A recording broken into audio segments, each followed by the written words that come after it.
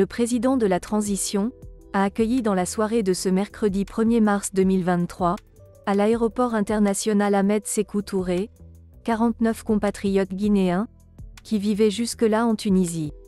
Avec une forte délégation de la présidence de la République et du gouvernement, le chef de l'État, aux côtés du chef de la diplomatie guinéenne, a donné du sourire à ses compatriotes guinéens, qui ont bien voulu volontairement regagner Conakry, après avoir vécu des moments d'atrocité en Tunisie, où le président de ce pays du Maghreb, a tenu récemment des propos haineux et racistes, à l'encontre des peuples subsahariens, installés dans son pays.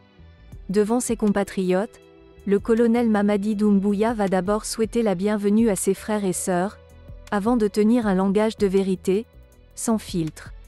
Je voudrais au nom du peuple de Guinée, exprimer notre position, notre vision de la situation en Tunisie, qui pour nous, n'est ni acceptable, ni normale en 2023.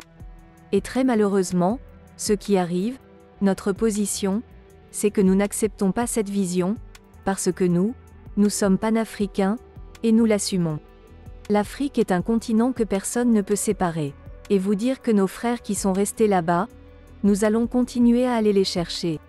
Je voudrais dire à nos concitoyens, qu'un pont aérien est déjà mis en place, pour aller chercher tous les Guinéens, qui voudraient rentrer au pays.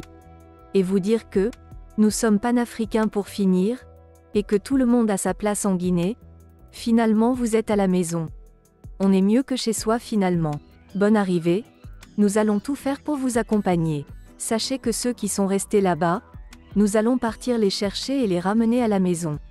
Donc je ne vais pas continuer à vous fatiguer davantage, je sais que vous êtes assez fatigué par cette situation dramatique pour nous dans l'histoire de notre continent et aussi dans l'histoire de nos institutions, a déclaré en substance, le colonel Mamadi Doumbouya, devant ses compatriotes. Après cette première vague, 81 autres Guinéens sont attendus en Guinée, dans les prochains jours, selon le programme établi par le ministère des Affaires étrangères et des Guinéens établis à l'Itranger. 49 Guinéens qui vivaient en Tunisie ont été rapatriés en Guinée ce 1er mars 2023. Ce premier convoi venu à bord d'un vol spécial guinéen a été accueilli par le président de la transition Mamadi Doumbouya, a-t-on constaté sur place. Ces Guinéens ont été ramenés après avoir été séquestrés à Tunis suite aux propos racistes du président de la Tunisie.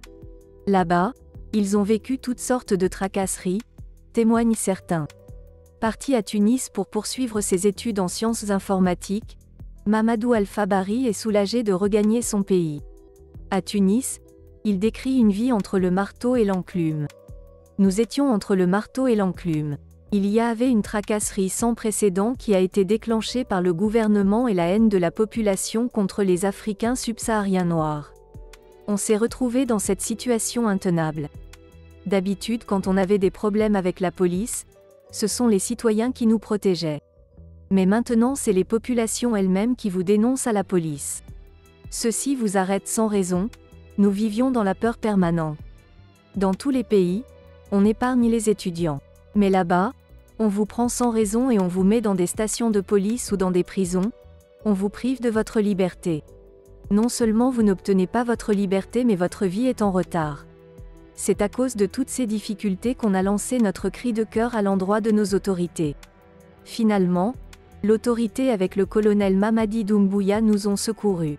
Moi je suis très content et soulagé pour ce geste qu'ils ont fait, et de révéler ce que Mamadi Doumbouya leur dit a dit dans le salon d'honneur de l'aéroport Ahmed Sékou Touré.